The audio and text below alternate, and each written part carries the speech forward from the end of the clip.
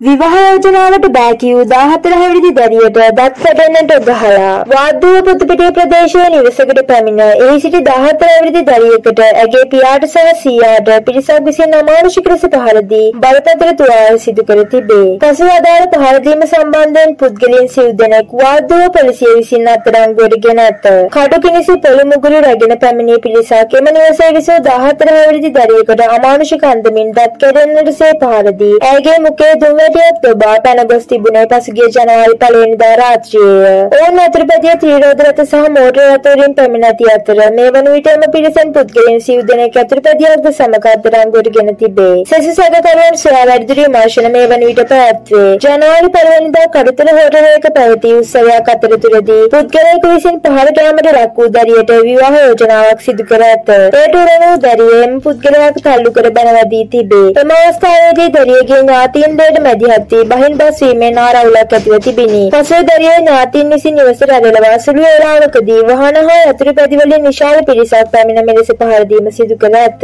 එම අවස්ථාවේදී වයස අවුරුදු 70ක් වන දරියගේ සීයා පහර දීම වැළැක්වීමට ඉදිරියට පැමිණ ඇති අතර ඔහුටද කඩුපෙරහරයක් කෙල්ල වී බලපත්‍ර තුවාල ලබා තිබේ. දරියගේ පියාදම අවස්ථාවේදී රැකියාව නිම වී නිවසට පැමිණ ඇති අතර ඔහුද කඩුවලින් කපා බලපත්‍ර තුවාල සිදු කර ඇතැයි වාර්තා වේ. තුවාලකරුවන් මේ වන විට අන්නාගොඩ රෝහලේ ප්‍රතිකාර ලැබමින් සිටී. ඔයාලා තාමත් අපිව සබස්ක්‍රයිබ් කරලා නැත්තන් පහත බටන් එක ක්ලික් කරලා දැන්ම අපිව සබස්ක්‍රයිබ් කරන්න.